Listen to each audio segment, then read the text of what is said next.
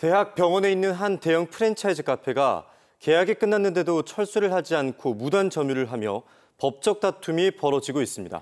전공의 이탈로 병원 재정난이 커지는 가운데 병원은 물론 환자들까지 피해가 이어지고 있는데요.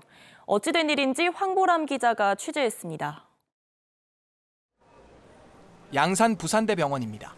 하루 만 명 정도가 드나드는 본관 1층에 있는 한 대형 프랜차이즈 카페가 문을 닫았습니다.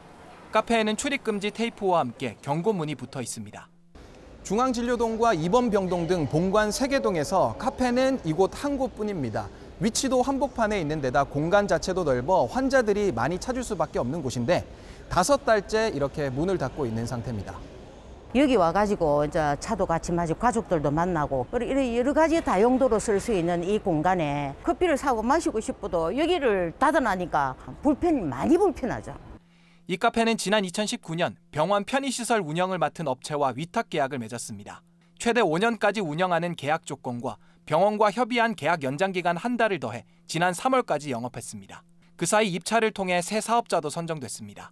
하지만 이 카페는 계약이 끝난 뒤에도 운영을 이어가려 했고 결국 병원이 영업 정지를 통보하며 지금과 같은 상황이 벌어졌습니다. 병원은 업체가 시설을 무단 점유하고 있다며 소송을 진행했습니다. 1심 재판부는 병원 손을 들어줬는데 업체가 곧바로 항소하며 법적 다툼은 이어지고 있습니다.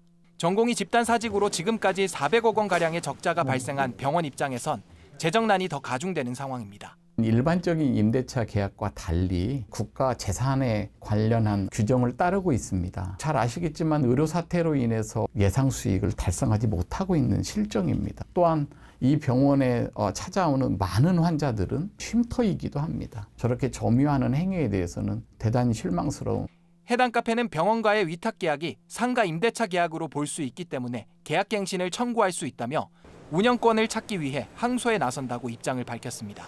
KNN 황보람입니다.